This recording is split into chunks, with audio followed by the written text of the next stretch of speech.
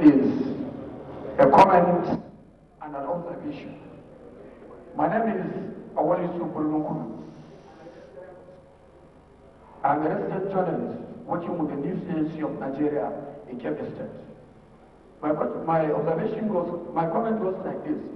First of all, I would like to appreciate the Honorable Minister of Information for the transformation he introduced in media in this country, especially those of us working in the NTA, News Agency of Nigeria, and other federal media parastatals.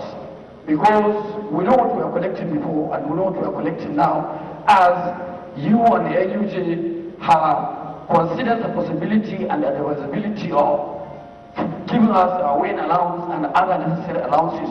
We remain very grateful for that effort. This has proven that you are the one, you are one of the best ministers of information we ever had.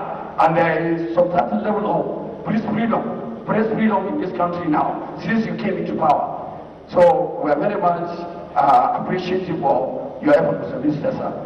Uh, my observation, Honorable Minister, is that Kebbi State is strategically located in this part of the country and is bordered two countries.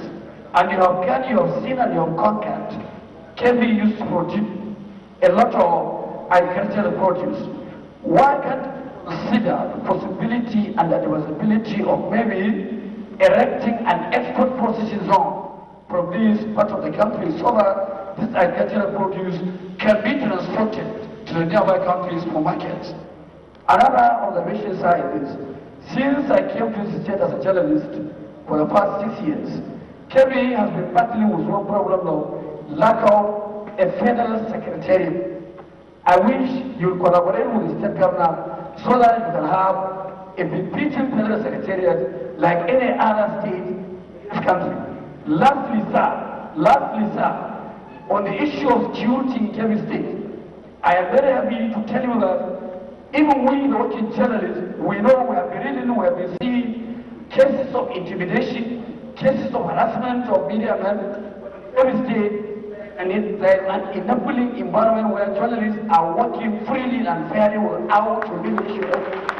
Thank you.